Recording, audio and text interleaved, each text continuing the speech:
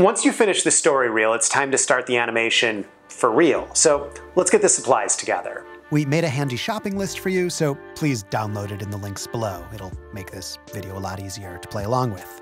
For simplicity's sake, we're going to make a cut paper animation together, but you can use clay, Legos, fruit, whatever. If you are looking to use something different from cut paper, please click on the link below to download our curriculum. It offers some great tips. So with all of your supplies in hand, we start by getting organized. The first step is by creating a list of everything you need to create, an asset list. It's good to know that if you only have an hour to make your props, backgrounds, and characters, and you have 30 pieces total to make, you can only spend two minutes on each of them.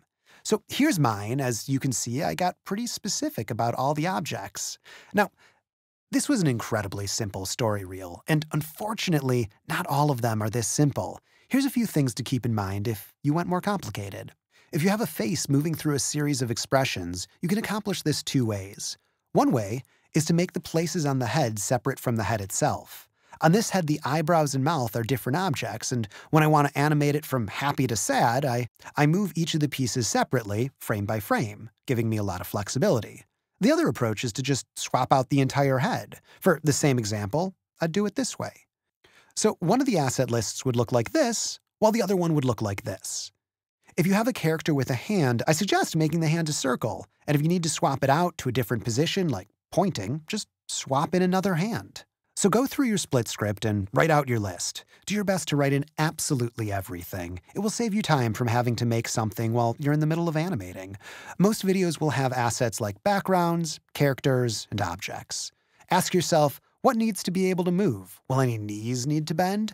If so, you need the leg in two parts. Do any eyes blink? If so, you need the eyes in two states, open and closed. Do any hats fly off? Then you need to make the hat separate from the head. You get it.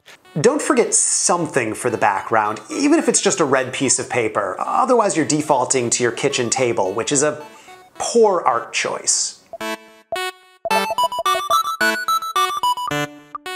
Now that your asset list is ready, let's get started actually making the assets. So get your construction paper, get your X-Acto knife, get your scissors, whatever you need, look at the shopping list, and let's get started in the next video.